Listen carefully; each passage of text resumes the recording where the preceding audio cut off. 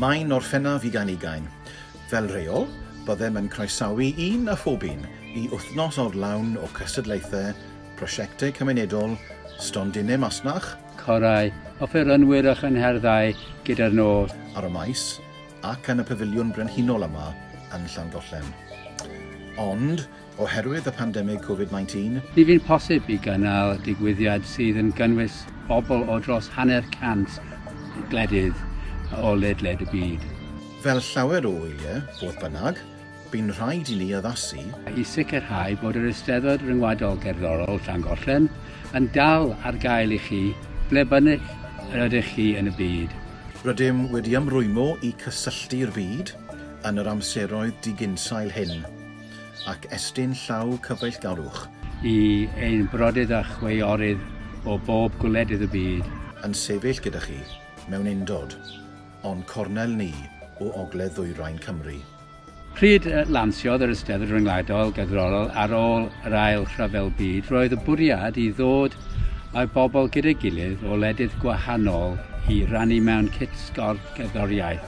Rhywbeth sy'n cael ei ddeall mor dda yng Nghymru. Mae cerddoriaeth a ddawns yn ieithoedd rhyngwladol yn wir, a gall pawb ohonom ddeall. Pob dydd yr wythnos hon, bydd deunydd newydd yn cael ei ryddhau, gan greu'r llongollen ar-lain, gwyl ddigidol felly, yr un gyntaf. Ers 1947. Mae yna gerddoriaeth newydd, Bardioniaeth newydd, negeseuon newydd o heddwch a gobaith i bob glad, plant a phobl hun a phawb ryngddynt wrth i ni gyflwyno'r fersiwn ar-lain arbennig hon o Llandollen.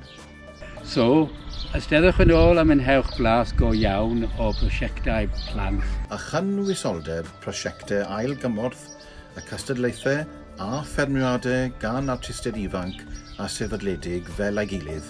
Peidiwch anghofio a tiwnio i fewn i glywed negus heddwch blynyddol ar dydd iau, bob amser yn achlysur arbennig yma a ran y gwyfoddolwyr, y staff. A phawb yn yr Eisteddfod rhyngwladol, gerddorol, croeso, cynnes, mawr.